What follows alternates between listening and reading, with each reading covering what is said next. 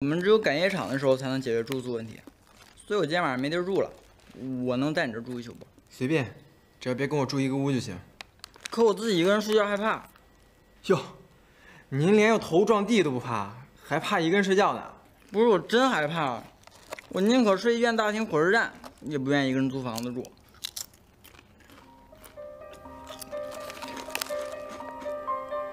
我告诉你们，老太太是上吊死的，吊在他孙子的房间的门框子上了。爱睡哪睡哪。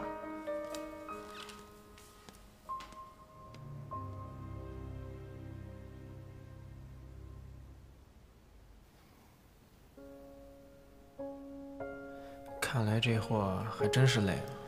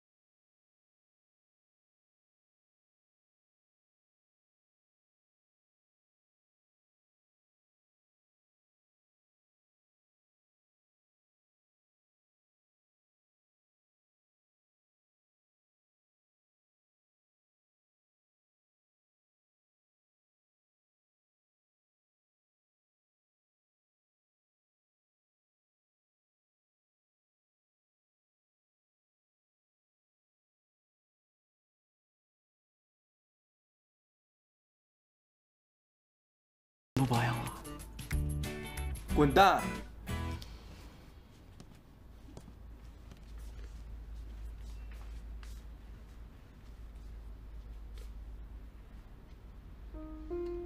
这下人情都还了，心里也踏实了。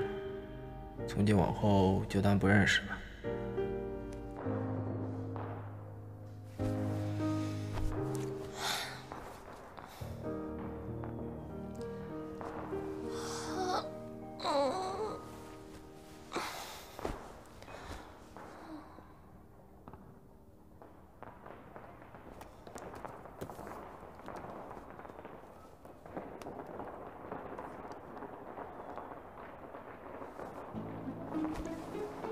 平时七点不起床，我哥就爱踹门了。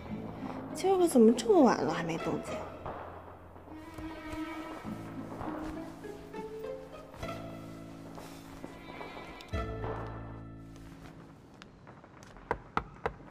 哥，你怎么还没起床啊？哥，奇怪，我哥睡觉从不锁门啊？难不成？不可能啊！这穷乡僻壤的村妞怎么能入得了我哥的呀？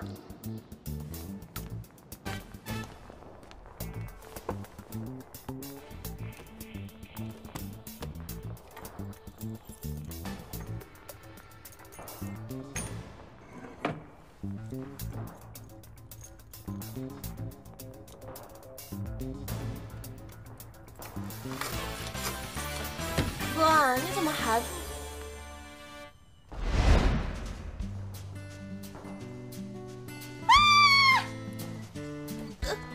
他，他，他，他，他怎么？我不是在做梦吧？吵死了！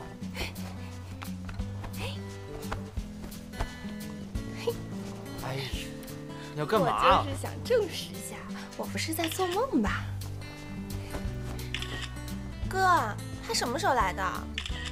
昨天晚上，昨天晚上，你俩之前商量好的？谁知道这小子从哪冒出来的？小耀，小耀，你这是想给谁惊喜呢？我就过来旅个游而已。干嘛啊？还不好意思啦！啊啊，真香！嗯，好吃，味儿太正了。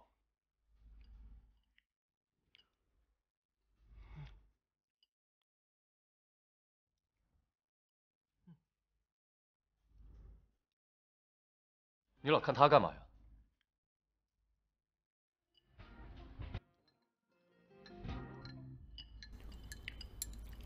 这个也好吃，好香。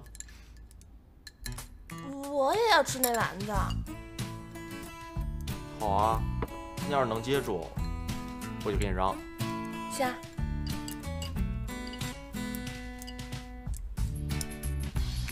准备啊！